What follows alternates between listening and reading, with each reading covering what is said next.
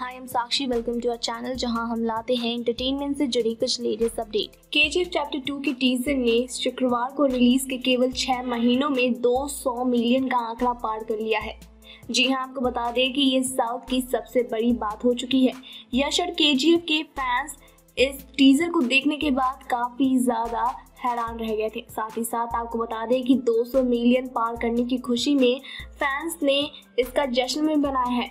जी हाँ आपको बता दें कि सोशल मीडिया पर ये बात ट्रेंड कर रहा है और फैंस उन्हें गैंगस्टर कह रहे हैं। जी हाँ आपको बता दें कि के चैप्टर वन को पार करता नज़र आ रहा है के चैप्टर टू। वैसे आपको बता दें कि शानदार उपलब्धि के साथ साथ फैंस भी दीवाने हो गए हैं इस फ़िल्म को लेकर।